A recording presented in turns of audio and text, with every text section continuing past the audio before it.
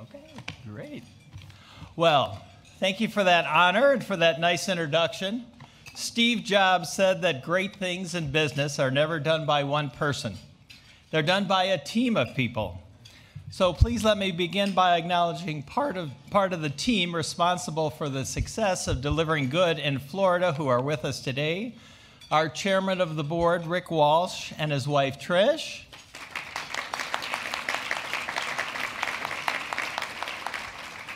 And two of our best partner agencies, Jane Thompson, president of A Gift for Teaching, and from the Mustard Seed, the executive director, Kathy Baldwin, and the human resource and office manager, Alexandria Jones.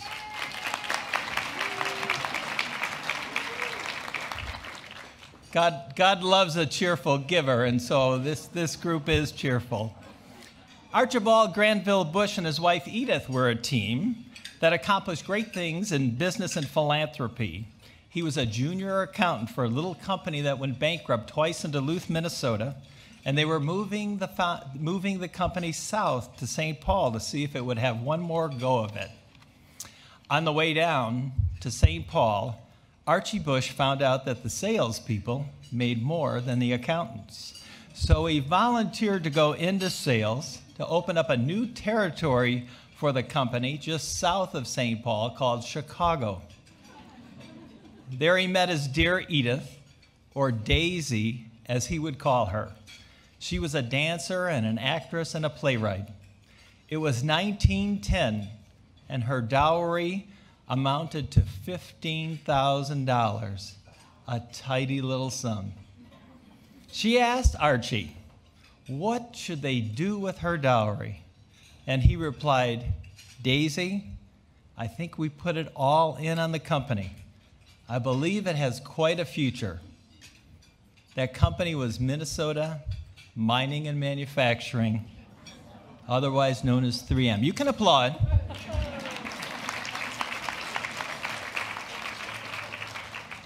Archie, by the way, was quite a salesperson because he sold the 3M board of directors on becoming president and chairman of the board.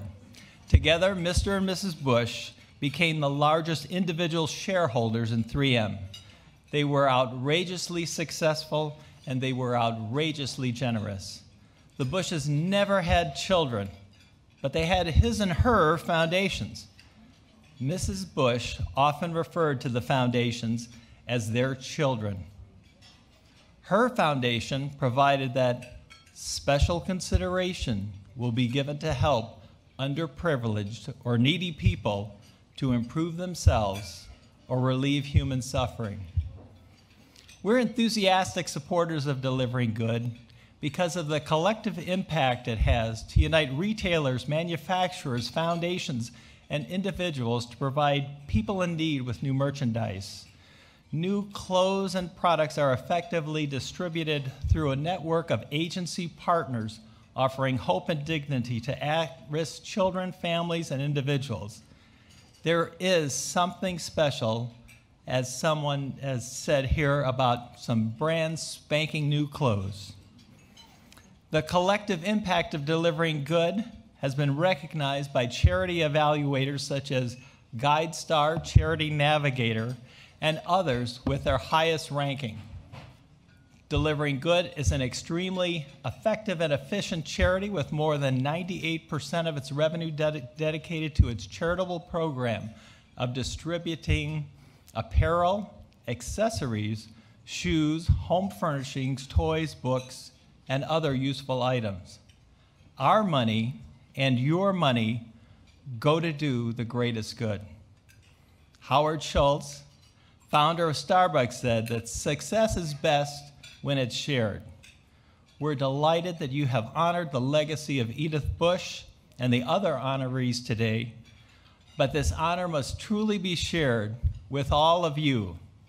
It's the generosity and genius of business, the hard work and creativity of the delivering board, good, delivering good board and staff, along with generous donors like yourselves volunteers, and enthusiastic partner agencies that put the brand spanking new clothes and big smiles on children and families in need. Thank you.